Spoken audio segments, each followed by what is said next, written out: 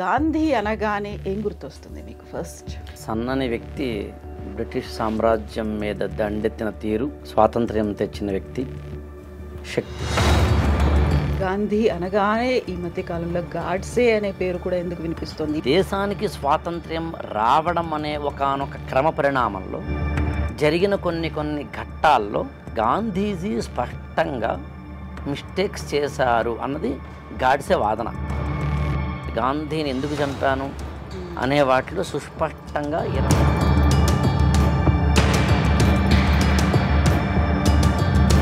అదే ఇప్పుడు చాలా కన్విన్సింగ్గా అనిపిస్తోంది. గాంధీని గాడ్సే చంపడం తప్పేమో తప్ప చంపడానికి ఒకానొక ప్రేరేపించిన ఘట్టాలు మాత్రం రైట్. కారణాలు ఏవైతే ఉన్నాయో ఉన్నాయో. సుస్పష్టంగా. గాంధీ కనుక తప్పు చేయకపోయి ఉంటే డివిజన్ అనేది జరగకపోయేది పాకిస్తాన్ అనేది ఉండకపోయేది భారతదేశంలోనే భాగస్వామ్యమేది ఇప్పుడు జరుగుతున్నటువంటి కంటిన్యూస్గా అవుతున్నటువంటి కాన్సిక్వెన్సెస్ ఇవన్నీ చూసిన తర్వాత నిజమే కదా జరగకుండా ఉంటే బాగుండేది కదా. వి- విభజన అనేది లేకుండా ఉంటే బాగుండేది కదా. బట్ అలాంటి పరిస్థితులు అప్పుడు ఉన్నాయా ముస్లింలకు సంబంధించిన ఖలీఫా యొక్క ప్రాధాన్యాన్ని బ్రిటిష్ గవర్నమెంట్ తగ్గిస్తోంది అనే దాన్ని ఆధారం చేసుకొని ఖిలాఫత్ మూమెంట్ని భారతదేశంలోకి తీసుకురావడం ద్వారా డైరెక్ట్గాను ఇండైరెక్ట్గాను గాంధీజీ కూడా నిలుస్తారు. దాంతో స్వాతంత్ర్య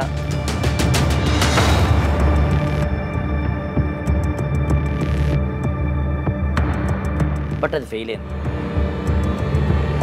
గాంధీకి పట్టు విడుపు తన సిద్ధాంతంలో లేకపోవడం ఇక్కడ జరిగిన నష్టం. నా దేశాన్ని చీల్చిన ఒక వ్యక్తిగా ఈయన నేను హత్య చేస్తున్నాను. సమానంగా హిందూ ముస్లింలకు సంబంధించిన సమ ప్రాధాన్యాన్ని ఇస్తూ వారందరినీ కూడా ఒక రక్షించాలి అనుకున్నప్పుడు నా నీ భేదం ఉండకూడదు. అందులో ప్రధానంగా అవన్నీ హిందూ వ్యతిరేకంగా కనిపించింది వ్యతిరేక కనిపిస్తాయి అప్పుడు. సత్యాగ్రహాన్ని అందించిన ఒక వ్యక్తి ఒక హింస వద్దు అన్న ఒక వ్యక్తి హింసకే బలివ్వడం అనే ఒక చారిత్రక ఘట్టం. గాంధీజీ ఇదే సత్యాగ్రహాన్ని ఎక్కడ పట్టుకోవాలో తెలిసినట్టుగా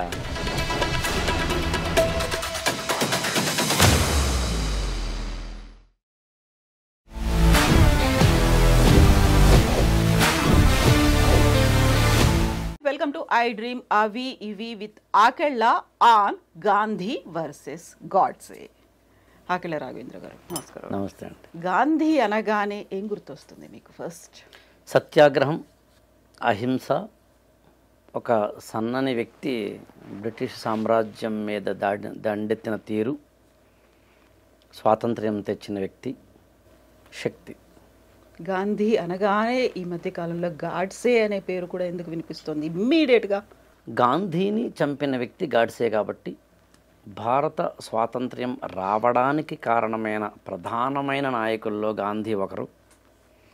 అలాంటి గాంధీని ఒక గాడ్సే అనే వ్యక్తి కాల్చి చంపడం అనేది భారతదేశ చరిత్రలోనే కాదు ప్రపంచ చరిత్రలోనే ఒక విషాదకరమైన సంఘటన మాత్రమే కాదు ఆశ్చర్యకరమైన సంఘటన మాత్రమే కాదు ఆలోచన రేకెత్తించిన సంఘటన కూడా.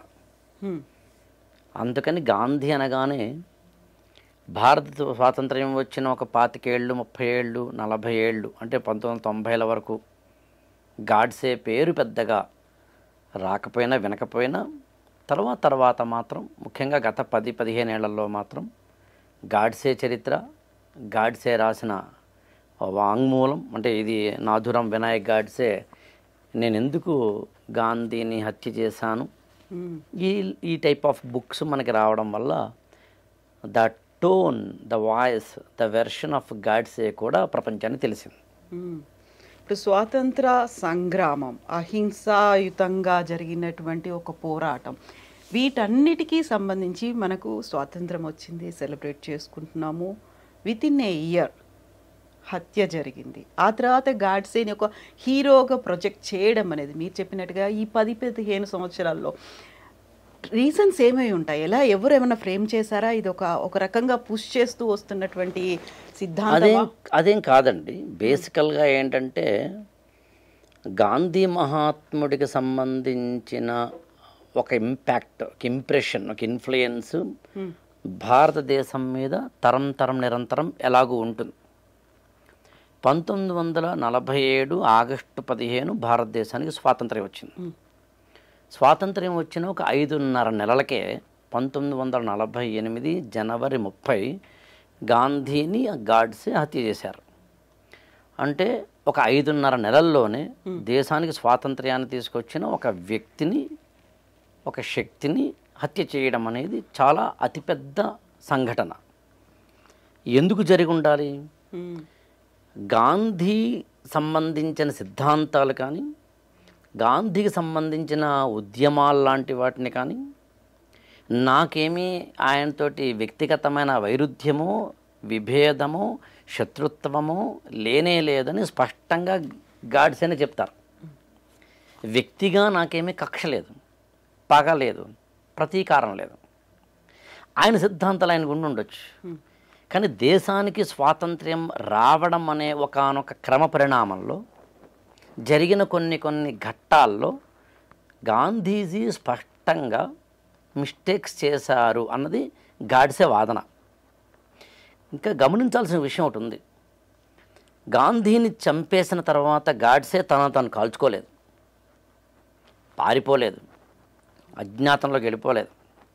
తానే స్వయంగా పోలీసులకి లొంగిపోయారు. సరెండర్ అయిపోయారు అక్కడ. పైగా దాదాపుగా ఒక గాంధీ మరణించినప్పటి నుంచి ఒక ఇరవై ఒక్క నెలలకి నాథురాం వినాయక్ గాడ్సేకి ఉరి శిక్ష వేయడం జరుగుతుంది. అంటే ఒక టూ ఇయర్స్ అనుకోండి కాస్త అటు ఇటుగా. ఈ రెండేళ్ళలో అనేక వాదనల్లో గాంధీని తాను ఎందుకు చంపాను అనేదాన్ని గాడ్సే సుస్పష్టంగా చెప్పడం జరుగుతుంది. సమర్థించుకున్నారు. ఖచ్చితంగా సమర్థించుకుంటాడుగా. తప్పు చేశాను చంపడం తప్పే. ఒక వ్యక్తిని ఇంకొక వ్యక్తి చంపడం ఎప్పుడు తప్పే.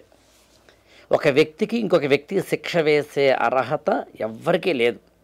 చట్టాలు కోర్టులు న్యాయస్థానాలు లేకపోతే కనుక పోలీసులు మనం ఏర్పరచుకున్న ఒకానొక అది ఏమంటామంటే కాన్స్టిట్యూషనల్ వే ఆఫ్ ఎగ్జిక్యూషన్ ఉంటుంది. మనిషి ఇంకొక మనిషిని తిట్టడం కానీ విమర్శించడం కానీ కొట్టడం కానీ శిక్షించడం కానీ చేసే హక్కు లేదు.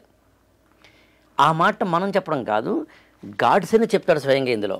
నేనేమి గాంధీని చంపడం రైట్ అంటలేదు.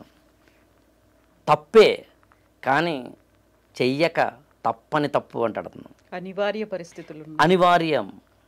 చెయ్యక తప్పదు నాకు. అందుని గాంధీ గాంధీని ఎందుకు చంపాననే దాన్ని గాడ్సే దాదాపు ఒక నూట అరవై నూట డెబ్భై పేరాల్లో చెప్తాడు అతను. ముఖ్యంగా ఇరవై ఆరు పాయింట్లు చెప్తాడు. గాంధీని ఎందుకు చంపాను అనే వాటిలో సుస్పష్టంగా ఇరవై ఆరు పాయింట్లలో స్పష్టంగా ఏ టు జెడ్ ఎక్కడెక్కడ ఏ ఏ మిస్టేక్స్ గాంధీ చేశారనే దాన్ని బేస్ చేసుకుని చెప్తారు. ఇక్కడ గమనించాల్సిన విషయం ఒకటి ఏముందంటే పంతొమ్మిది వందల నలభై ఏడులో స్వాతంత్ర్యం వచ్చినప్పుడు దేశం విడిపోయింది. ఈ two nation theory Pakistan and India అనే రెండు దేశాల ఏర్పాటు అనేది ఒక అనివార్యమైన పరిస్థితి ఏర్పడింది. ఇది నిజానికి ఈ దేశ విభజన అనేది మామూలుగా ఇవాళ డెబ్భై ఏడు సంవత్సరాల తర్వాత మనకి పెద్దగా పెయిన్ఫుల్గా అనిపించకపోవచ్చు. డెబ్భై ఏడు సంవత్సరాల కిందట అంటే నా పంతొమ్మిది నలభై ఏడులో అప్పటి భారతీయుల అఖండ భారతదేశం మనది. ఈ పక్కన బంగ్లాదేశ్ మనది ఆ పక్కన పాకిస్తాన్ మనది మధ్యలో ఇవాళ మనం అనుకుంటున్న మహా ఏదైతే భారతదేశం ఉందో ఇవంతా మనదే. ఈ అఖండ భారతదేశంతో ముడిపడిన జీవితాలు అవి. ఇప్పుడు ఒక్కసారిగా దేశం విడిపోయింది అన్నప్పుడు కాంతిశీకులుగా శరణార్థులుగా అటు పాకిస్తాన్ నుంచి ఇండియాకో అంటే ఇవాళ ఇండియాకో ఇండియా నుంచి పాకిస్తాన్కో ఇక్కడ వాళ్ళు అక్కడికో అక్కడ వాళ్ళు ఇక్కడికో వెళ్ళిపోవాల్సిన పరిస్థితి. పైగా దేశ విభజన అనేది మామూలుగా అయితే ఒక జాతిపరమైన అంశము ఇంకొక అంశం అయితే కనుక బ్రాడర్ సెన్సిటివిటీ ఉంటుంది. సోషియాలజీలో బ్రాడర్ సెన్సిటివిటీ అలా కాకుండా మతము అనే ఒక కోణం మీద ఆధారపడి విడిపోయింది. అదే ప్రాతిపదికన. మత ప్రాతిపదికన విడిపోవడం వల్ల వచ్చే ఇబ్బంది ఏముంటుందంటే చాలా సెన్సిటివిటీ ఎక్కువ ఉంటుంది ఎప్పుడైతే సెన్సిటివిటీ ఎక్కువ ఉందో మత కల్లోలాలు జరిగినాయి. మత ఘర్షణలు జరిగినాయి. ఇక్కడ వారు అక్కడికి అక్కడ వారు ఇక్కడికి వెళ్ళిపోవాల్సిన పరిస్థితి. అది బస్సుల్లో వెళ్ళిపోయిన వాళ్ళు ఉన్నారు. ట్రైన్స్లో వెళ్ళిపోయిన వాళ్ళు ఉన్నారు. బండ్లు కట్టుకుని వెళ్ళిపోయిన వాళ్ళు ఉన్నారు. మోసుకుంటూ వృద్ధుల్ని తీసుకెళ్ళిన వాళ్ళు ఉన్నారు. అయితే ఇడిసి ఇడిసిపోతే నడిసి వెళతా అయ్యసారు అన్నట్టుగా మీరు వదిలేస్తే చాలు బస్సులు వద్దు బండ్లు వద్దు వెళ్ళిపోతాము అన్నవాడు ఉన్నారు పది లక్షల మంది చనిపోయారు ఒక్క ఆ ఇన్సిడెంట్లో. కొన్ని నెలల గ్యాప్లో. రెండు కోట్ల మంది కనీసం డిస్ప్లేస్ అవ్వాల్సిన పరిస్థితి అంటే నిర్వాసితులు అయిపోయి తమ ఇళ్ళు తమ గూడు తమ ఆఫీసులు తమ ఉపాధి తమ పిల్లలు పిల్లల చదువులు తమ మతాలు తమ మత గ్రంథాలు తమ మత విశ్వాసాలు మత స్థలాలు. ప్రార్థనా ఆలయాలు. అది మస్జిద్ కావచ్చు అది గుడి కావచ్చు. వీటన్నిటిని విడిపోయిన ఒకనొక పరిస్థితిని పంతొమ్మిది నలభై ఏడు ఆగస్టు పదిహేను నుంచి మనం చూసినప్పుడు నిజంగా అయితే కళలో నీళ్ళు వస్తాయి. అందులో మెజారిటీ సంసిద్ధంగా లేరు. ఎప్పుడు ఉండే అవకాశం లేదు. ప్రజలు ఎప్పుడు కూడా సంసిద్ధంగా ఉండే అవకాశం లేదు. ఎందుకంటే బ్రాడర్ అవుట్లుక్లో చూసినప్పుడు ప్రజలకి ఇవన్నీ సంబంధం ఉండదు. అందుకే అమాయకులు నిరక్షరాస్యులు అక్కడ ఉన్న సామాన్య ప్రజలకి ఎప్పుడు ఇబ్బంది అవుతుంది. మీకు ఈ ఇన్సిడెంట్స్ మీద ఆధారపడి చాలా పుస్తకాలు కూడా వచ్చినాయి. మీకు ఖుష్వంత్ సింగ్ అని ఆయన ట్రైన్ టు పాకిస్తాన్ అని ఒక నావెల్ రాశారు. అలాగే రావి పార్ అని ఒక కథల సంపుటి ఉంది. హిందీలో వచ్చింది తర్వాత ఇంగ్లీష్లో ఒక ట్రాన్స్లేట్ అయింది. గుల్జార్ అని ఆయన రాశారు. గుల్జార్ అంటే ఫేమస్ లిరిసిస్ట్ ఆ కథల సంపుటి టైటిలే రావి పార్. రావి పార్ అంటే రావి అనే నదిని దాటడం అని. మనకి బియాసు సట్లజు సింధు రావి నదులు భారత పాకిస్తాన్ల మధ్యన ఉంటాయి. ఐదు నదులు. ఆ సింధు నది నాగరికత పుట్టింది అక్కడే. అప్పట్లో ఈ అంటే కాంతి సీకులుగా శరణార్థులుగా వెళ్ళిపోవడం అనేది ఒక్కసారి ఊహిస్తేనే కానీ మనకు అర్థం కాదు యాక్చువల్గా రోజుకి లక్షల మంది వేల మంది ఏం దొరికితే అది పట్టుకుని వెళ్ళిపోయే ఒక పరిస్థితి ఉన్నప్పుడు రావిపార్ అనే కథానికలో రాస్తారు ఆయన. ఒక ఫ్యామిలీ ఇద్దరు పిల్లలు వాళ్ళిద్దరు కూడా కవల పిల్లలు. అదే last train to reach India. ఇంకా తర్వాత ట్రైన్స్ లేవు. We have to go. ఇద్దరు పిల్లలతోటి తల్లి తండ్రి కిక్కిరిసిపోయిన రైలు బోగీల్లో అంటే వంద మంది పడతారు ఒక బోగి అనుకుంటే దాదాపు ఒక మూడు వందల నాలుగు వందల మంది పట్టేంత రైలు బోగీల్లో పైన కూర్చుని కింద కూర్చుని బాత్రూంలో కూడా కూర్చుని పట్టుకుని ఒకళ్ళ మీద ఒకళ్ళు పడిపోయి వెళుతున్న ఒకనొక సందర్భంలో అది కూడా దాదాపు ఒక రెండు రోజులు మూడు రోజుల జర్నీ అది. రైలు అంతేకాని కేవలం ఏదో ఒక అరగంటో గంటో కాదు. ఒక కపుల్ ఒక దంపతుల వాళ్ళకి ఇద్దరు కవల పిల్లలు ఉంటే అందులో ఒక అబ్బాయి ఈ జర్నీలో చనిపోతాడు. ఆ అబ్బాయికి ఒక ఐదేళ్ళు ఆరేళ్ళు ఉండి ఉండొచ్చు చనిపోతే ఆ ఇప్పుడు ఇంకా రెండు రోజులు వన్ అండ్ హాఫ్ డేనో జర్నీ ఉంటుంది కాబట్టి చుట్టుపక్కల వాళ్ళు అమ్మ మీ అబ్బాయి చనిపోయాడు కాబట్టి బయటనే పాడేయండి. వేరే మార్గం లేదు లేకపోతే కంపు వస్తుంది అంటే ఒప్పుకోదు తల్లి. తండ్రి కూడా ఒప్పుకోడు. ఎంత కాదనుకున్నా చూస్తూ చూస్తూ కన్న కొడుకుని అలా వదిలేసుకొని వచ్చి కదులుతున్న రైల్లోంచి కింద పడేయడం జరగదు. ఆమె వెక్కి వెక్కి ఏడుస్తూ రాత్రంతా ఏడుస్తూ ఒక అర్ధరాత్రి పూట ఎప్పుడు పడుకుంటుంది ఆమె తల్లి. తనకి గుర్తు తెలియనంతగా. అప్పుడు ఆ చుట్టుపక్కల ఒకళ్ళిద్దరు ఏం చేస్తారంటే ఈ తండ్రి నెమ్మదిగా లేపి అరే మీ ఆవిడ పడుకుంది కదా. ఈ చనిపోయిన పిల్లాడిని ఎప్పుడైనా బయటపడే పైగా రావి నది దాటుతున్నప్పుడు మనం నదిలో పాడేస్తే పుణ్యం కలుగుతుంది. అందుకని సద్గతే లభిస్తుంది నీ కొడుకు ఈ పని చెయ్యి లేకపోతే కంపు కొట్టేస్తుంది అన్నప్పుడు ఆ తండ్రి ఏం చేస్తాడంటే భార్యకి తెలియకుండాను చుట్టుపక్కల వాళ్ళు చూడకుండాను ఇద్దరు ఇచ్చిన కంపల్షన్ తోటి పిల్లవాడిని తీసుకుని ట్రైన్లోంచి రావి నదిలోకి తోసేస్తాడు. తోసేస్తే ఆ గాల్లో ఉన్నప్పుడు ఆ శిశువు లేదా ఆ ఐదారేళ్ళ పిల్లవాడు కెవ్వమని నరుస్తాడు అంటే ఈ హడావిడిలో ఈ కంగారులో ఈ ఎమోషన్లో ఈ ప్రెషర్లో ఈ బాధలో ఈ ఆవేదనలో బతికి ఉన్న శిశువునేమో బయటకెంటేసి చనిపోయిన శిశువుని మాత్రం ఒడిలోనే పెట్టుకున్న ఒక తండ్రి దీన గాథని రావిపారనే అనే కథ చెప్తుంది. అదొకటే కాదు భార్యని ఇక్కడ విడిచిపెట్టి వెళ్ళిపోయిన భర్తలు ఆస్తుల్ని విడిచిపెట్టి వెళ్ళిపోయిన అమాయకులు ఇవాళ కూడా భారతదేశం నుంచి పాకిస్తాన్కో పాకిస్తాన్ నుంచి భారతదేశంకో నైన్టీన్ ఫార్టీ సెవెన్లో వెళ్ళిపోయిన వాళ్ళ ఆస్తులకు ఉంటే వాటిని ఎనిమీ ప్రాపర్టీ అంటారు. ఇవాల్టిగా ఎనిమి ప్రాపర్టీకి సంబంధించి ఇండియాలో చట్టాలు ఉన్నాయి అలాంటి ఒకనొక విషాదకరమైన పరిస్థితుల్ని కళ్ళారా చూసిన వ్యక్తులు యువకులు చాలామంది ఉంటే వాళ్ళలో ఒకరు నాథురాం వినాయక్ గాడ్సే. ఈ పరిస్థితి కారణం ఎవరు అన్నప్పుడు గ్లేరింగ్గా కనిపిస్తున్న ఉదాహరణ వ్యక్తి నేత ఎవరంటే మహాత్మా గాంధీ.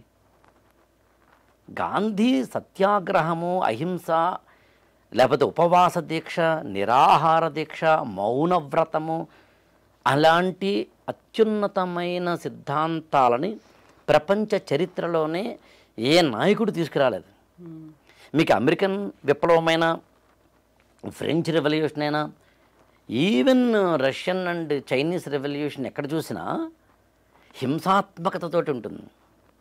సత్యాగ్రహము ధర్మాగ్రహము అహింసో ఉపవాస దీక్ష మౌనవ్రతము నిరాహార దీక్ష ఇలాంటి వాటితో ఉండవు. ఆ విషయంలో ఖచ్చితంగా గాంధీ ఇచ్చిన మార్గం చాలా గొప్పది.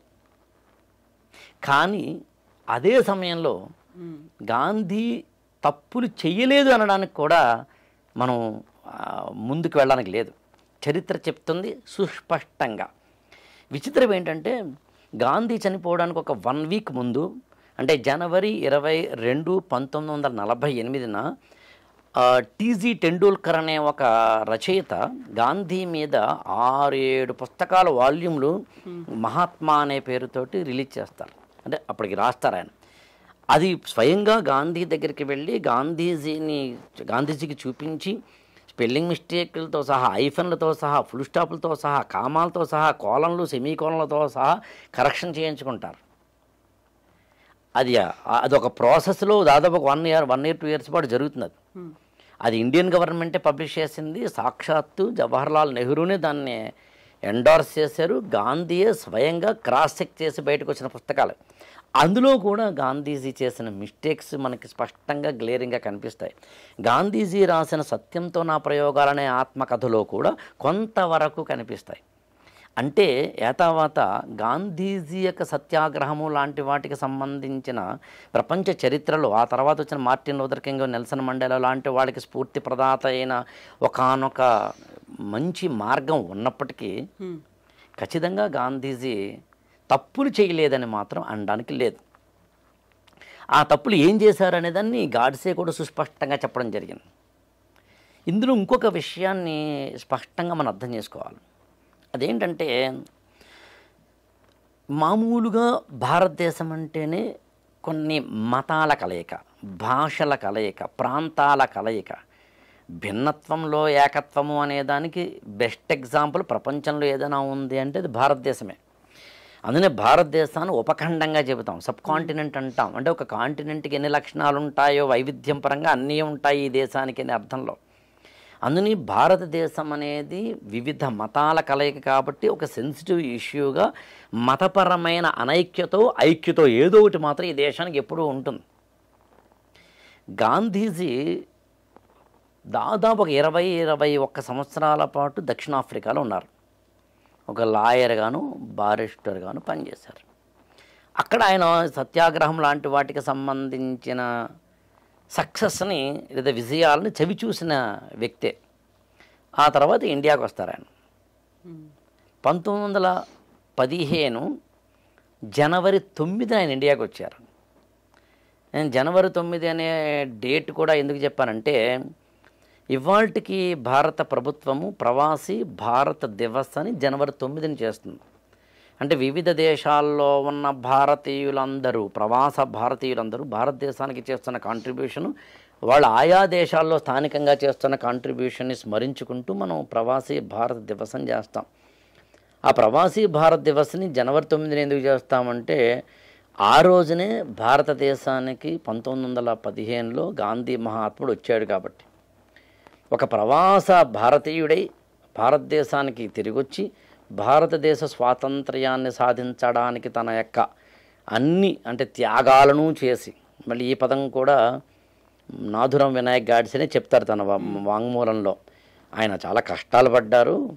ఆయన చాలా తన యొక్క అంటే వ్యక్తిగతమైన వాటన్నిటిని వదులుకున్నారు. నేనే కాదంటం లేదు అనే అర్థం వచ్చేలాగా. సో అలాంటి గాంధీ మహాత్ముడు భారతదేశానికి వచ్చిన రోజు మనం ప్రవాసీ భారత దివసం చేస్తాం.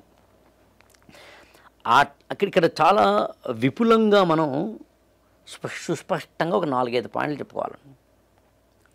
అందులో ఒకటి ఏంటంటే పంతొమ్మిది వందల పదిహేనులో మహాత్మా గాంధీ భారతదేశానికి వచ్చే సమయానికి భారతదేశంలో స్వాతంత్ర్య పోరాటం ఉవ్వెత్తున జరుగుతోంది. అప్పటికే ఆయన దక్షిణాఫ్రికాలో ఒక విజయం సాధించిన నేత. అందుకని ఇండియా వచ్చిన తర్వాత భారత రాజకీయాల్లో స్వాతంత్ర ఉద్యమానికి సంబంధించి తన పాత్ర ఏమిటి? నేను ఏం చెయ్యాలి అనే కాంట్రిబ్యూషన్ ఏంటి అనే దాంట్లో గాంధీ మహాత్ముడు అనుకున్నప్పుడు గాంధీ సుస్పష్టంగా భారతదేశ రాజకీయాలలో అప్పటికి మనకి మూడు లేయర్స్ ఉంటాయండి. Higher level and upper class lower class middle class. Jawaharlal Nehru కానీ మోతిలాల్ నెహ్రూ కానీ చిత్తరంజన్ రంజన్ దాస్ అంటే ఒక మనకి భారతదేశంలో పద్దెనిమిది వందల ఎనభై ఐదులో ఇండియన్ నేషనల్ కాంగ్రెస్ వచ్చే సమయానికి భారత రాజకీయాలకు సంబంధించి ఇప్పుడు మనం మాట్లాడుతున్న పంతొమ్మిది వందల పదిహేను అనుకుంటే అక్కడో పదిహేను ఇక్కడో పదిహేను ఒక ముప్పై ఏళ్ళు అనుకుంటే ఈ ఎవరైతే లీడర్లుగా మనం చెబుతామో వాళ్ళందరూ కూడా హయ్యర్ క్లాస్కి మాత్రమే ఎడ్యుకేటెడ్ స్ట్రాటాకి మాత్రమే లిమిట్ అయిన వాళ్ళు. ఒక ఫిరోజ్ షా మెహతా కానీ దాదాబాయి నవరోజీ కానీ బాలగంగాధర తిలక్ కానీ గోపాలకృష్ణ గోఖలే కానీ. నేను ఈ నాలుగు పేర్లు ఎందుకు చెప్పానంటే ఈ నాలుగు పేర్లు ఈయన చెప్పారు కాబట్టి.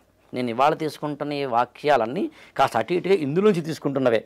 మరి పదే పదే ప్రతిసారి ఫుట్ నోట్ నేను చెప్పలేకపోవని తప్ప ఈయన ఈయన చెప్పిన మాటల్ని కొంచెం కోట్ కోటబుల్గా చేస్తున్నాను. ఈ నలుగురు నాయకుల్ని ఎందుకు గాసే చెప్తారంటే ఈ నలుగురు అంటే ఇందాక నేను చెప్పిన ఫిరోజ్ షా మెహతా కావచ్చు దాదాబాయి నవరోజీ కావచ్చు బాలగంగాధర్ తిలక్ కావచ్చు అయితే గోపాలకృష్ణ గోఖలే కావచ్చు. గోఖలే అంటే సాక్షాత్తు గాంధీ మహాత్ముడి యొక్క గురువు రాజకీయ గురువు. ఈ నలుగురు భారతదేశంలో పంతొమ్మిది వందల పదిహేనుల నాటికి అంటే ఇండియాకి దక్షిణాఫ్రికా నుంచి గాంధీ మహాత్ముడు వచ్చే సమయానికి అప్పర్ క్లాస్ నుంచి లోయర్ క్లాస్ వైపుకి మిడిల్ క్లాస్ మీదుగా భారత స్వాతంత్ర ఉద్యమాన్ని తీసుకెళ్తున్న రోజులు అవి అదే టైంలో లాల్ బాల్ పాల్ అనేది. ముగ్గురి త్రయం కూడా వినిపించింది. ఎగ్జాక్ట్లీ ఈ ప్రాసెస్లో మిడిల్ క్లాస్ మీదుగా లోయర్ క్లాస్కి వెళుతున్న ఒకనొక రాజకీయ పరిణామ దశని అర్థం చేసుకున్న వ్యక్తి మహాత్మా గాంధీ. అదే సమయంలో ఇంకొకటి ఏం జరిగింది అక్కడంటే ఇప్పుడు చెప్పిన ఈ నలుగురు కూడా పంతొమ్మిది వందల పదిహేను నుంచి పంతొమ్మిది వందల ఇరవైలకు వచ్చేసరికి మరణించడం కూడా జరిగింది. కాస్త అటు ఇటుగా.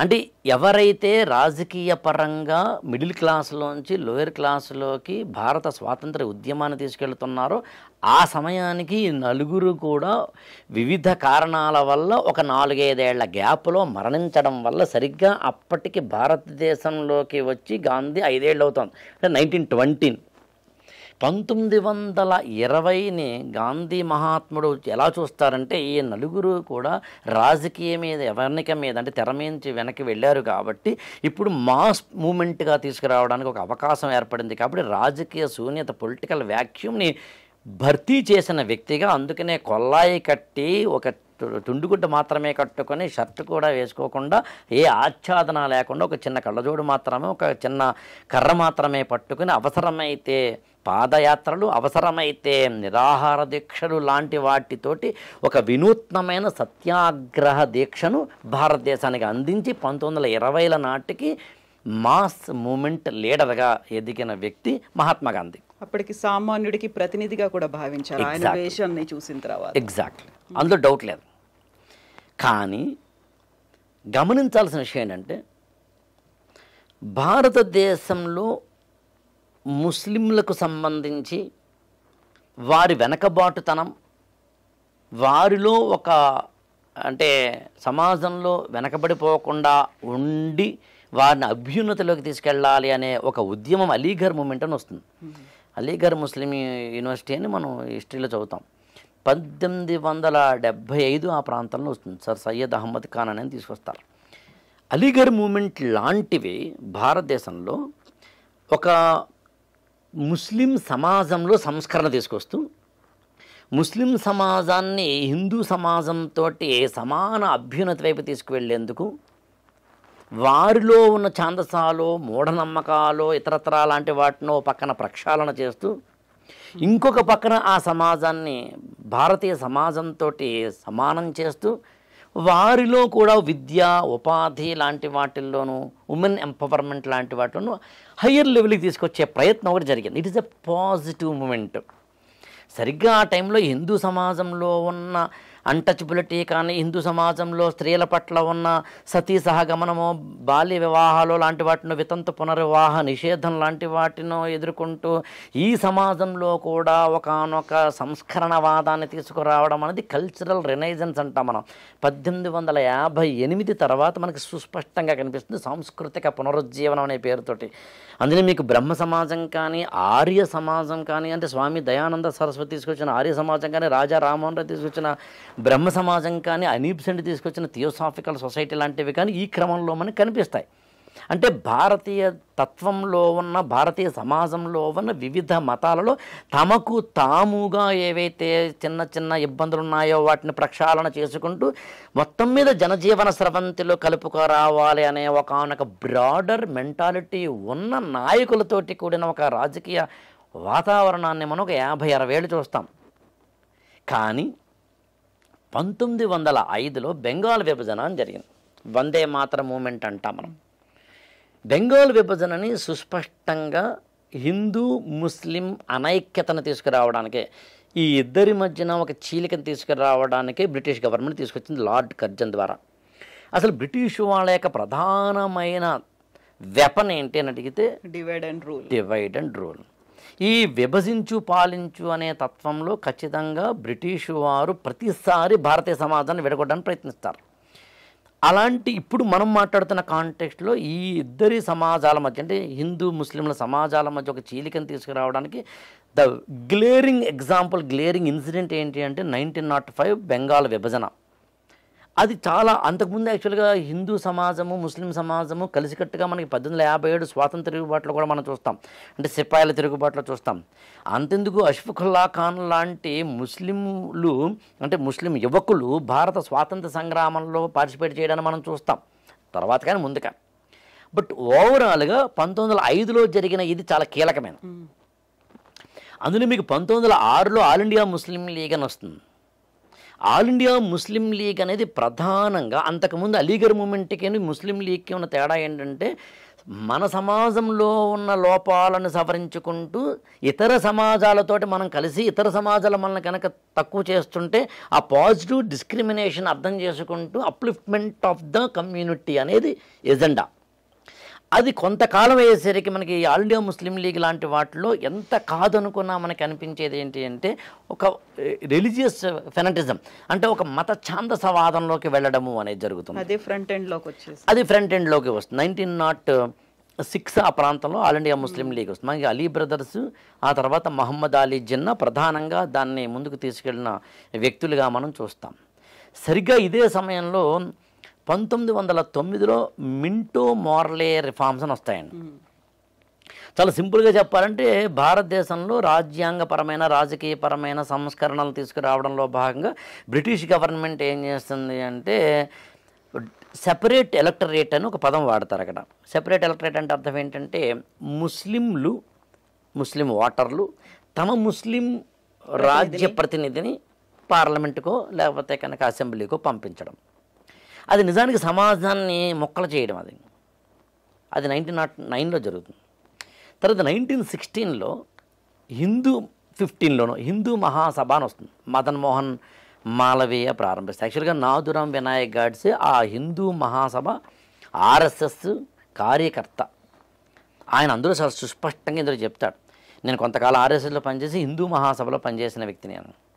అంటే పంతొమ్మిది వందల పదిహేను ఇరవైల నాటికి భారతదేశంలో హిందూ ముస్లిం యూనిటీ అనేది దెబ్బతింది. ఇది గమనించిన నేత గాంధీ. ఇప్పుడు గాంధీ ముందున్న ఆప్షన్ ఏంటంటే అతిపెద్ద సవాల్ కూడా. అతిపెద్ద సవాల్ కూడా ఏంటంటే నేను పోరాడాల్సింది బ్రిటిష్ వాళ్ళ మీద. బ్రిటిష్ వారి మీద నేను పోరాడాలి అంటే నా దేశంలో ఉన్న అందరూ నాతో కలిసి రావాలి. అన్ని కులాలు కలిసి రావాలి అన్ని భాషలు కలిసి రావాలి అన్ని మతాలు కలిసి రావాలి అన్ని సంఘాలు కలిసి రావాలి అన్ని ప్రాంతాలు కలిసి రావాలి. అన్ని వర్గాలు వయోవర్గాలు స్త్రీ పురుష భేదాలు అన్ని అందరూ కలిసి రావాలి. కలిసి రావాలి అంటే నేను ముస్లింలను నా వైపు అట్రాక్ట్ చేయాలి. హిందూ ముస్లింల చీలికలతోటి ఈ దేశాన్ని విభజించి పాలించాలనుకుంటున్నా బ్రిటిష్ వారికి నేను సమాధానం చెప్పాలి అంటే నేను కూడా ముస్లింలను చేరదీసుకోవాలి. చేరదీయాలి అంటే వారికి నేను ఎక్కువ బహుమానాలు ఇవ్వాలి. ఈ తప్పు కాదు. కానీ గాంధీ చేసిన అతిపెద్ద మిస్టేక్ ఏంటంటే వీరికి ఇవ్వకుండా వీరికి ఇవ్వడం ఎలా ఇస్తారు? రెండు ఇవ్వడం కూడా ప్రభుత్వమైన నాయకులైన తాయిలాలని ఎంతవరకు ఇవ్వాలి ఎంతవరకు ఇవ్వకూడదు. విచక్షణ ఏంటి అని. తెలుసుకోవాలి. ప్రతి ఒక్క వ్యక్తికి అతనికి ఏ అడ్వాంటేజ్ ఉంటుందో అదే డిసడ్వాంటేజ్ అవుతుంది. ఎవరికైనా అంతే. ఏ వ్యక్తికైనా ఏ నాయకుడికైనా ఏ సంఘానికైనా మీకు ఏది డిసడ్వాంటేజ్ చెప్పండి అది అడ్వాంటేజ్ అవుతుంది. ఏది అడ్వాంటేజ్ చెప్పండి అది డిసడ్వాంటేజ్ అవుతుంది. గాంధీకి బ్రిటిషు వారిని నేను ఎదుర్కోవడానికి నేను ముస్లింలను చేరదీసినప్పుడు వారు నాతోటి కలిసి వస్తే అప్పుడు నేను హిందూ సమాజం ఎలాగూ నాతో ఉంటుంది. అప్పుడు ఇద్దరినీ కలిసి తీసుకువెళ్ళవచ్చు అనే ఒకనొక ఆలోచన. నిజంగా చెప్తున్నానండి ఈ పుస్తకంలో గాడ్సే ఈ పాయింట్ని ఎంత లాజికల్గా రేషనల్గా ఎగ్జంప్లఫరీగా ఇన్స్టెన్సెస్ తోటి చెప్తారో ఇన్సిడెంట్స్తో చెప్తారో చెప్తే ఆశ్చర్యపోతాం. అదే ఇప్పుడు చాలా కన్విన్సింగ్గా అనిపిస్తోంది. ఎగ్జాక్ట్లీ కన్విన్సింగ్ అనే పదం కూడా నేను వాడిన. కన్విన్సింగ్ అనేది కూడా ఎక్కడో కిట్టుబాటే కాదు. ఇట్స్ రైట్ గాంధీని గాడ్సే చంపడం తప్పేమో తప్ప చంపడానికి ఒకానొక ప్రేరేపించిన ఘట్టాలు మాత్రం రైట్ ఆ కారణాలు ఏవైతే ఉన్నాయో ఉన్నాయో. సుస్పష్టంగా. ఉమ్. అందుకని పంతొమ్మిది వందల ఇరవైలలోంచి చూస్తే గాంధీ మహాత్ముడు ఒక విధంగా ఈ హిందూ సమాజాన్ని ముస్లిం సమాజాన్ని సమానంగా ముందుకు తీసుకువెళ్ళాలి అనే ఒకనొక ఆలోచన కాకుండా ఎవరైతే డిప్రెస్డ్గా ఉన్నారో వారిని ముందు తీసుకురావాలనే ఒకనొక ఆలోచన చేయడం వల్ల ఒక స్టేజ్కి వచ్చేసరికి. అది ఈ పక్కనేమో ముస్లిం సమాజాన్ని తాను పూర్తిగా ఆకర్షించలేకపోయారు. At the same time Hindu సమాజానికి ముస్లిం సమాజానికి మధ్యన డివైడ్ డివిజన్ చీలిక పెరిగిందే తప్ప తగ్గలేదు. గాంధీకి ఆ మొండి పట్టుదల ఒక తప్పు చేసిన తర్వాత దాని నుంచి వెంటనే మళ్ళీ కరెక్షన్ చేసుకోవడం కాకుండా మళ్ళీ తప్పు చేయడము అనేది ఇంకొకసారి ఇంకొకసారి ఏదో చేయడం అనేది జరిగింది. ఎంత బాగా. చెప్తారంటే గాంధీ గురించి ఇక్కడ కొన్ని ఉదాహరణలుగా చెప్తే ఇరవై ఆరు పాయింట్లు ఇందామని మాట అన్నాను నేను. ఇరవై ఆరు ఘట్టాల్లో గాంధీజీ చేసిన మిస్టేక్స్ని చెప్తారంటే ఊహించండి యాక్చువల్గా అందులో ఓకే కొన్ని కొంచెం హిందుత్వవాదంగా మనకు అనిపించవచ్చు. కానీ కొన్నిట్లో మాత్రం ఖచ్చితంగా అంటే ఇవన్నీ ఎలా ఉంటాయంటే ఆనాటి ఎప్పుడూ కూడా టెక్స్ట్ అండ్ కాంటెక్స్ట్ అనే పదం వాడతాం. ఒక ఇన్సిడెంట్కి కాంటెక్స్ట్ ఏంటనే పదం వాడతాం. ఆ కాంటెక్స్ట్లో చూసినప్పుడు గాంధీజీ కూడా రైట్ అనిపిస్తుంది మనకి. అందుకే నేను మీకు ఆశ్చర్యపోతానండి. గాంధీ పాయింట్ ఆఫ్ వ్యూలో. గాడ్సేని విమర్శిస్తూ వచ్చిన పుస్తకాలు ఉన్నాయి తెలుగులో. అంటే ఇంగ్లీష్లో వచ్చినవి తెలుగులో అనుకోండి. Translations what I want to convey. Godse point of వ్యూలో గాంధీని విమర్శిస్తూ వచ్చిన పుస్తకాలు ఉన్నాయి. అంటే ఎవరి వెర్షన్ వాళ్ళది? కానీ నేను ఈ ఎపిసోడ్లో మాత్రం సమన్వయంగా ఇద్దరిది తప్పు కాదు లేదా ఇద్దరిది తప్పే పరిస్థితులను అర్థం చేసుకుంటూ ఎక్కడ ఏం మిస్టేక్ జరిగిందో చూసి రాబోయే తరాలకు ఆ మిస్టేక్ ఇవాళ నాయకులు చేయకూడదని చెప్పే ప్రయత్నం యాక్చువల్గా ఈ ఎపిసోడ్ ఉద్దేశం. ఇప్పుడు గారు గాడ్సే హత్య చేశారు గాంధీని. అక్కడ డివిజన్ అనేది ఉండకుండా ఉంటే బాగుండేది. ఆ తప్పు గాంధీ వల్లే జరిగింది అనేది గాడ్సే బలంగా నమ్మారు నిజంగా అవే రీజన్స్గా ఆయన పేర్కొన్నారు కూడా. ఒకవేళ ఆ డివిజన్ గాంధీ కనుక ఆ తప్పు చేయకపోయి ఉంటే డివిజన్ అనేది జరగకపోయేది ఈ పాకిస్తాన్ అనేది ఉండకపోయేది భారతదేశంలోనే భాగస్వామ్యం అయ్యేది ఇప్పుడు జరుగుతున్నటువంటి కంటిన్యూస్గా అవుతున్నటువంటి కాన్సిక్వెన్సెస్ ఇవన్నీ చూసిన తర్వాత నిజమే కదా జరగకుండా ఉంటే బాగుండేది కదా వి విభజన అనేది లేకుండా ఉంటే బాగుండేది కదా. బట్ అలాంటి పరిస్థితులు అప్పుడు ఉన్నాయా ఇక్కడ సరిగ్గా ఇదే ఇక్కడ ఏంటంటే మామూలుగా ఇలాంటి వాటిని పులి మీద స్వారీ అని పదం వాడతారు. దిగలేవు ముందుకి వెళ్ళలేవు ముందుకి నడపలేవు అలా అని చెప్పి పులినేమి పట్టుకోలేవు. పులి మీద కూర్చున్నావు స్వారీ చేయక తప్పదు. వెళ్తే ఎవరిని భక్షి తెలియదు దిగితే నిన్ను భక్షిస్తుంది గాంధీకైనా ఎవరికైనా ఆ యాక్చువల్గా లీడర్షిప్ క్వాలిటీస్లో అక్కడే వాట్ ఆర్ యూ అని తెలుస్తుంది యాక్చువల్గా. ఎలా బ్యాలెన్స్ ఎలా బ్యాలెన్స్ చేశారు అది? చారిత్రకంగా ఉన్న అనేకమైన అంశాలలో మనకి కనిపించేది అదే.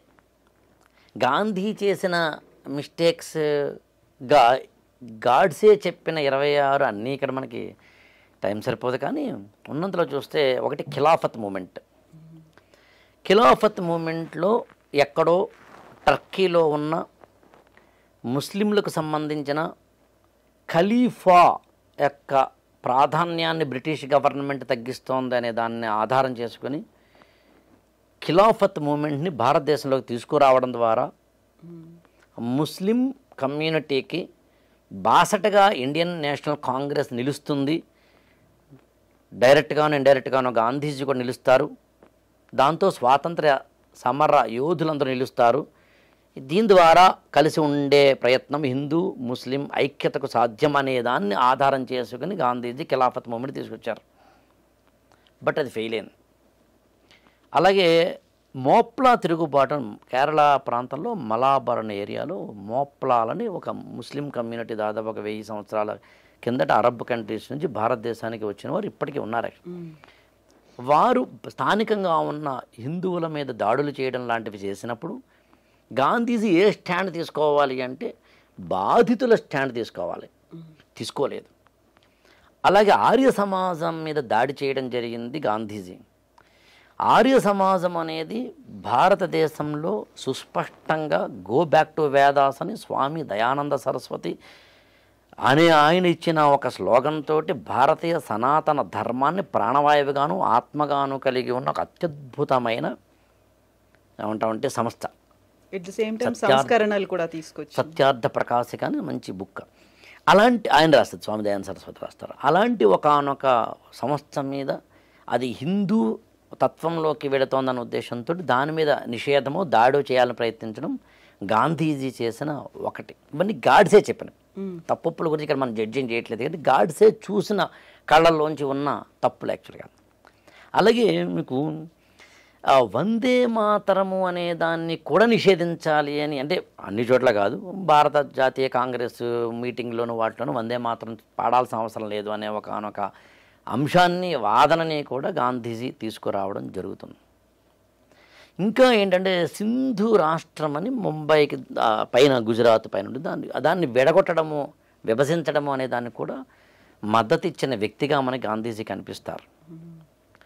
ఇంకా అత్యంత దారుణమైన విషయం అంటే హిందీ హిందుస్థానీ అని రెండు భాషలు కనిపిస్తాయి. మీకు నార్త్ ఇండియాలో ఇటు మరాఠీ కానీ గుజరాతీ కానీ రాజస్థానీ కానీ బీహారీ అంటే కాశ్మీరీ కానీ హర్యానీ కానీ బీహారీ కానీ ఇటు ఒరియా కానీ బెంగాలీ కానీ నార్త్ ఇండియాలో లాంగ్వేజ్ ఉంటాయి. సంస్కృతము ప్రాకృతము పాడి పైసాచి మాగధి అర్ధమాగధి శౌరసేని ఇట్లాంటి భాషలు ఉంటాయి. ఈ భాషల్లో ఉర్దూ మనకి తెలుసును. హిందీ కూడా తెలుసును. ఉత్తర భారతదేశంలో ఎక్కువగా హిందీ భాషీయులు ఉంటారు. మధ్యయుగాల్లో అంటే పదమూడు పద్నాలుగు శతాబ్దాల ఆ ప్రాంతానికి ఈ ఉర్దూ అనేది ఒక ప్రధాన భాషగా అప్పుడు కనిపిస్తుంది. ఒకప్పుడు ఉర్దూ ఉంది. ఉర్దూ అనగానే మనకు గుర్తొచ్చేది ముస్లిం లేక భాషగా చూస్తాం. హిందీ అనేది సాధారణంగా హిందువుల భాషగా చూస్తాం. ఈ చిన్న లాజిక్ మనకు అర్థమైతే హిందీని కాదని జాతీయ భాషగానో అధికార భాషగానో ఇంకే ఉన్నతమైన భాషగాను హిందుస్థానీ అనే భాషను తీసుకురావాలి అని వాదించిన వ్యక్తిగా మనకి గాంధీజీ కనిపిస్తారు. దానివల్ల వచ్చే నష్టం ఏంటి అన్నప్పుడు ఒకటేమో హిందీకి సంబంధించినప్పటికే ఏ హిందీతో అయితే అనుబంధం కలిగిన వారు ఉన్నారో అదొకటి.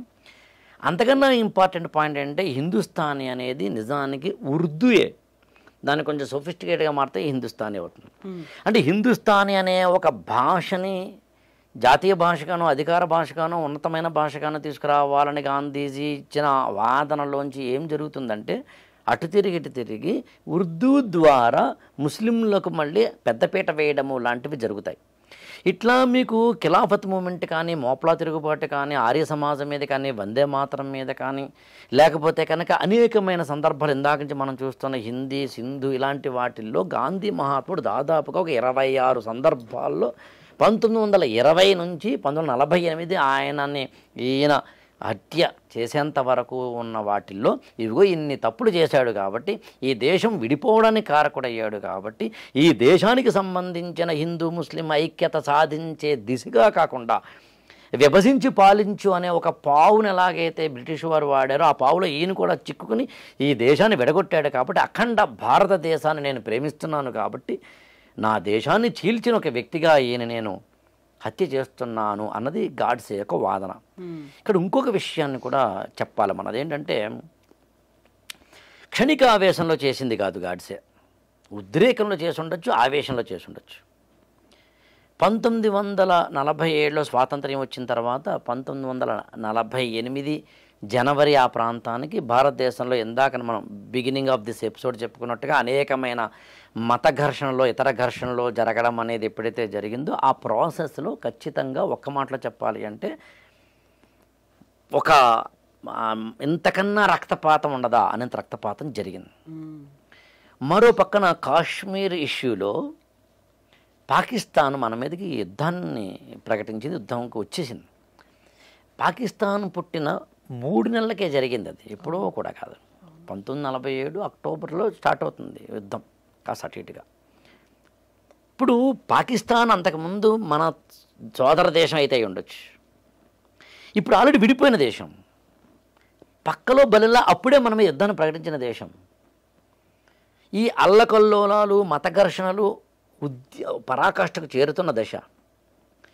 ఈ దశలో గాంధీజీ జనవరి పదమూడు పంతొమ్మిది వందల నలభై ఎనిమిది. ఆయన ఏమంటామంటే నిరాహార దీక్ష చేస్తారు. మామూలుగా గాంధీజీకి నిరాహార దీక్ష చేయడం అనేది ఒక అత్యంత కీలకమైన ఆయుధాల్లో ఒకటి. ఆయన నాకు తెలిసి ఆయన మొత్తం జీవితంలో పద్దెనిమిది వరకు నిరాహార దీక్షలు చేశారు ఇండియాలో. పద్దెనిమిది సార్లు. పద్దెనిమిది సార్లు. పంతొమ్మిది వందల పదిహేనులో ఆయన భారతదేశానికి వస్తే నలభై ఎనిమిదిలో మరణించే వరకు అంటే స్వాతంత్రం పొందిన నలభై ఏళ్ళు స్వాతంత్రం అనుకుంటే కనుక ఒక ముప్పై రెండేళ్ళు ముప్పై మూడేళ్ళు టైం ఫ్రేమ్లో ఆయన పద్దెనిమిది సార్లు చేశారంటే కాస్త అటు ఇటుగా ఎవ్రీ టూ ఇయర్స్కి ఒకసారి అతిపెద్ద దీక్ష చేశారు. మధ్యలో ఇంకా చాలాసార్లు చేశారు ఆయన. అలా జనవరి పదమూడు ఇరవై పంతొమ్మిది వందల నలభై ఎనిమిదిలో ఆయన చేసిన నిరాహార దీక్ష దేనికోసం అంటే మత కల్లోలాలు సద్దుమణగడం కోసం. దాదాపు వంద మంది వరకు మత పెద్దలు వివిధ రకాల మత పెద్దలు వచ్చి ప్రతినిధులు వచ్చి గాంధీతో కూర్చుని మాట్లాడి ఆ నిరాహార దీక్షను విరింప చేయడానికి ప్రయత్నిస్తారు. అది జరిగింది ఒక ఐదు రోజుల తర్వాత అంటే జనవరి పద్దెనిమిది నాటికి. అప్పుడు ఏడు షరతులు విధిస్తారు గాంధీజీ. ఆ ఏడు షరతులు కూడా దురదృష్టవశాత్తు పాకిస్తాన్కి అనుగుణంగానో ముస్లింలకు అనుగుణంగానో లేకపోతే కనుక ముస్లి పాకిస్తాన్లో ఉన్న ముస్లింలకు హిం ఇండియాలోని ముస్లింలకు అనుగుణంగానే ఆ ఏడు ఉంటాయి తప్పించి కానీ సమానంగా హిందూ ముస్లింలకు సంబంధించిన సమ ప్రాధాన్యాన్ని ఇస్తూ వారందరినీ కూడా ఒక రక్షించాలి అనుకున్నప్పుడు నా భేదం ఉండకూడదు. అందులో ప్రధానంగా అవన్నీ హిందూ వ్యతిరేకంగా కనిపించాయి. వ్యతిరేక కనిపిస్తాయి అప్పుడు. కనీసం ఖచ్చితంగా కనిపిస్తాయి. అందున ఆ ఏడు షరతులు కూడా అనేసరికి ఆ, నాథురాం వినాయక్ గాడ్సే కానీ నారాయణ దత్తాత్రేయ ఆప్టే లాంటి వారికి కానీ వీర సావర్క సావర్కర్ కానీ గోపాల్ గాడ్సే అంటే నాథురాం వినాయక్ గాడ్సే తమ్ముడికి కానీ డాక్టర్ పర్చూరి లాంటి వాళ్ళకి కానీ ఒక తొమ్మిది నుంచి పన్నెండు మంది యువకులకి అది ఖచ్చితంగా రక్తాన్ని మరిగించేలాగా నరాలని ఆవేశంలోకి పొంగుకొచ్చేలాగా ఒక తీవ్రమైన ఆవేశానికి తీసుకెళ్ళేలాగా చేయడం అనేది అత్యంత సహజమైన కార్యకారణ సంబంధంలోంచి వచ్చిన కాజ్ అండ్ ఎఫెక్ట్లోంచి వచ్చినదే అది. అక్కడ ఎప్పుడైతే ఏడు షరతులు ఆ షరతులను మళ్ళీ పైగా పాకిస్తాన్కి భారతదేశం ఒక యాభై ఐదు కోట్లు ఏదో కంపెన్సేటరీగా ఇవ్వాలి లాంటి వాటికి సంబంధించి చూసినప్పుడు ఈ వ్యక్తి వల్ల ఇంత నష్టం జరిగింది అనే ఒక ఆ సిద్ధాంతం ఇంత నష్టం జరిగింది అన్నది. నేను ఇందాక ఒక మాట చెప్పాను. అదే అడ్వాంటేజ్ డిసడ్వాంటేజ్ అవుతుంది. అదే డిసడ్వాంటేజ్ అడ్వాంటేజ్ అవుతుంది అన్నట్టుగా ఆ హిందూ తత్వ భావజాలమే ఒక నాధురాం గాడ్సేనేమో ఒక వ్యక్తినే హత్య చేసేంత స్థాయికి ప్రేరేపించగా. గాంధీ ఏమో తాను పట్టుకున్నది ఆ బ- అది అవసరమైతే కాలంతో పాటు ఆ దానికి రిలవెన్స్ పోతే కనుక దాన్ని వదిలేయగలగాలి అనే ఒకనొక తాత్విక చింతనలోకి వెళ్ళలేకపోవడం అనే బలహీనత కనిపిస్తుంది డెబ్భై తొమ్మిది సంవత్సరాలు అప్పుడు ఆయనకి.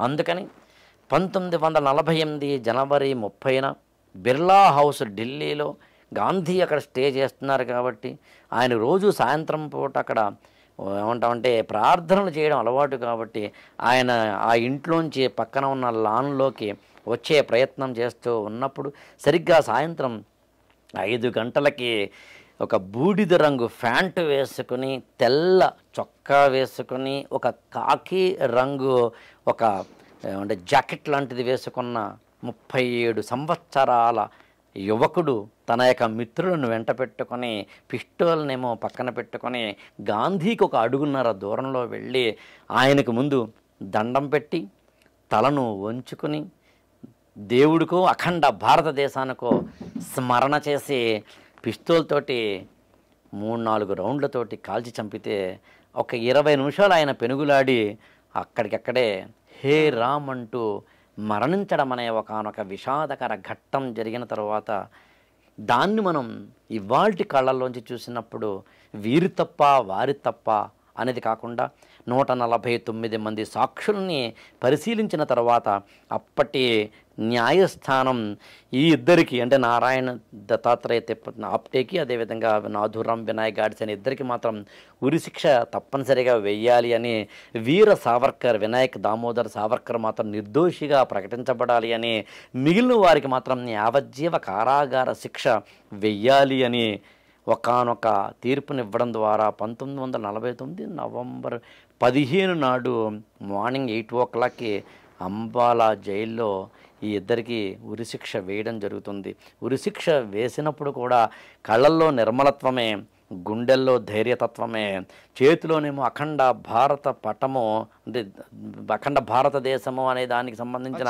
ప్రేరేపించిన పటము అదేవిధంగా భగవద్గీత ఓ చేతిలోనూ కాషాయ జెండా ఓ చేతిలోనూ వెళ్ళి ఉరికంబం ఎక్కి భగత్ సింగ్ లాంటి వారిలో చెప్తారు యాక్చువల్గా ఆ ఉరి తాడుని ముద్దు పెట్టుకున్నంతగా ఆవేశపడ్డాడు అంటారు.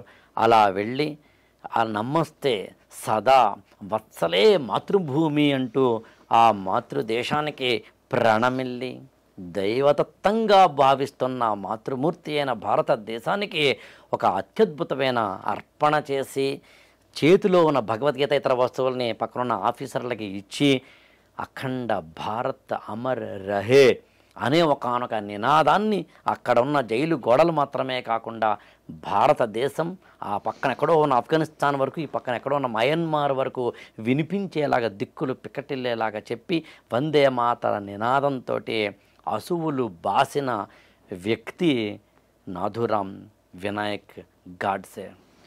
ఒక సత్యాగ్రహాన్ని అందించిన ఒక వ్యక్తి ఒక హింస వద్దు అన్న ఒక వ్యక్తి హింసకే బలివ్వడం అనే ఒక చారిత్రక ఘట్టం. నా నా నా హిందూ బంధువులు అనే ఒకనొక కోణంలో ఇంతకన్నా నాకు మరొక తీర్పు లేదేమో.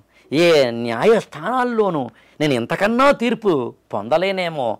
ఈ వ్యక్తి ఇంకా ఉంటే ఈ దేశం ఇంకేమైపోతుందన్న భయమో ఒకనొక తీవ్రమైన ఆవేశమో ఏదో నడిపించిన ఎవ ఎ- ఎతరేతర శక్తులు నడిపించిన అన్నట్టుగా నడిచి వెళ్ళిన అంటే ఇతరేతర అంటే ఎవరో వ్యక్తులు కాదు నా ఉద్దేశం భావజాలం అని చెప్పడం. వెళ్ళిన నాథురాం వినాయక్ గాడ్సే ఒకరు ఈ పక్కన కనిపిస్తారు ఒకరు ఆ పక్కన కనిపిస్తారు. ఆయనే స్వయంగా రాసిన ఈ పుస్తకం చదివితేనేమో ఆయన కళ్ళల్లోంచి చూడొచ్చు.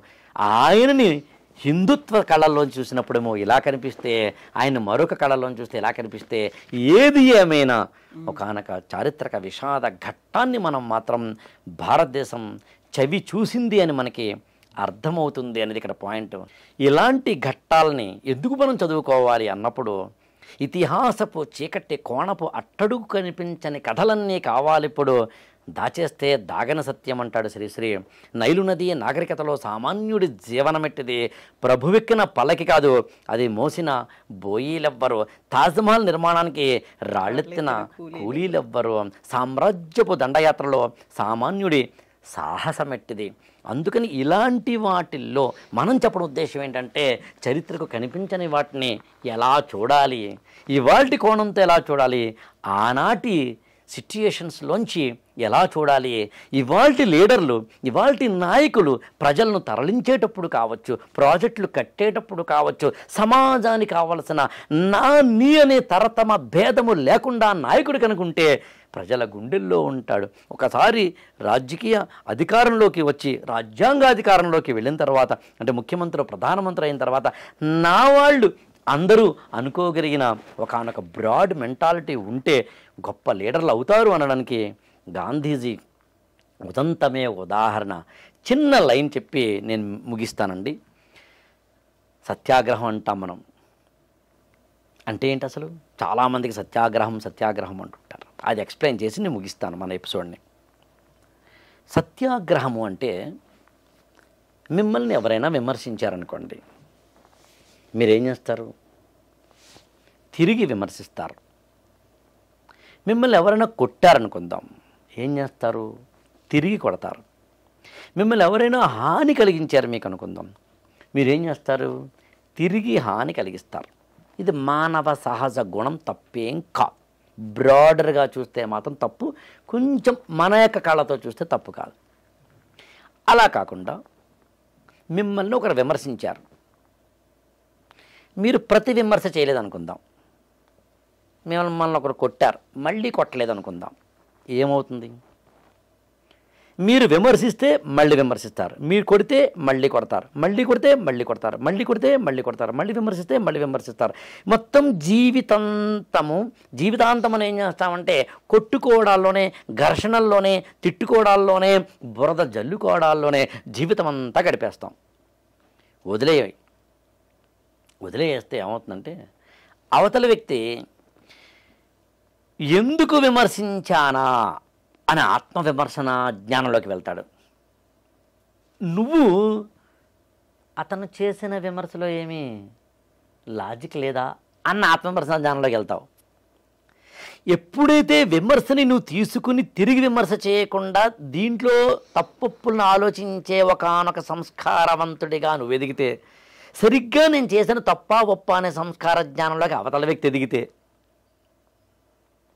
అప్పుడు ఏమవుతుందంటే నేను చేసిన తప్పే అని విమర్శించిన వాడు అతని విమర్శలో కూడా కొంత న్యాయం ఉందిలే అని విమర్శను తీసుకున్నవాడు అనుకున్నప్పుడు ఇద్దరు ఎదురు ఎదురుకుండా కూర్చుని కరచాలనం చేసుకుని ఒకరికొకరు సారీ చెప్పుకుంటే అంటే క్షమా గుణాన్ని ప్రదర్శిస్తే అప్పుడు స్నేహ భావ బాంధవ్యం ఏర్పడుతుంది. ఒకటి ప్లస్ ఒకటి ఈజ్ ఈక్వల్ టు రెండు అది గణితం. ఒకటి ప్లస్ ఒకటి ఈజ్ మోర్ దాన్ టూ అది జీవితం అనే విషయం ఈ ఇద్దరికి అర్థమైనప్పుడు కొట్టుకోవడం తిట్టుకోవడం విమర్శించుకోవడం బూతులు తిట్టుకోవడం హింసాత్మకంలోకి వెళ్ళడం జంతు ప్రవృత్తిని ఒక విశాల దృక్పథంలోకి ఆలోచన ధోరణలోకి వెళ్ళినప్పుడు మానసికంగా శుద్ధి కలిగి విమర్శనాత్మకంగా ఆలోచించగలిగి బ్రాడర్ మెంటాలిటీలోకి వెళ్ళినప్పుడు అప్పుడు ఖచ్చితంగా ఆ ఇద్దరిలోనూ కూడా ఒక సంస్కారవంతమైన ఒక స్నేహ బాంధవ్యం ఏర్పడేందుకు అవకాశం ఉంటుంది అనేది అర్థమైతే అదే సత్యాగ్రహం. దీన్ని ఇంకొక రెండు ఒక్క నిమిషంలో ముగిస్తాను. దీన్ని మహాభారతంలో ధర్మాగ్రహం అంటారు. అప్పటికే అరణ్యవాసము అజ్ఞాతవాసం అయిపోయిన తర్వాత అప్పటికే రాయబారాలు రెండు మూడు అయిపోయిన తర్వాత ఇక యుద్ధం చేయక తప్పదనే పరిస్థితిలో చివరి సమయంలో మనకి కృష్ణుణ్ణి రాయబారానికి పంపిద్దామని పాండవులు అనుకుంటారు కౌరవుల దగ్గరికి. అప్పుడు ధర్మరాజు మాట్లాడిన కొన్ని మాటలు కనుక వింటే ధర్మాగ్రహము సత్యాగ్రహం అంటే ఏంటో అర్థమవుతాయి. మనం యుద్ధానికి వెళ్తాం. వాళ్ళు యుద్ధానికి వస్తారు. మనమే గెలుస్తామన్న గ్యారంటీ ఉందా? Fifty fifty. వాళ్ళు ఓడిపోతారు నువ్వు అనుకుంటున్నావు. నిన్ను ఓడించడం ఎలాగని వాళ్ళు అనుకుంటున్నారు. ఈలోగా జన నష్టం ధన నష్టం అని నష్టాలు జరిగిపోతాయి. ఆ తర్వాత శవాల కోటలో రాజ్యమేళ రాజ్యం ఏలాలా ఆ నెత్తుటు కూడిని తీసుకోవాలా? This is a question by mister Dharmaraja. అక్కడ మనకి ఏమనిపిస్తుంది అంటే ఇది చేతకానుడేమో అనిపిస్తుంది.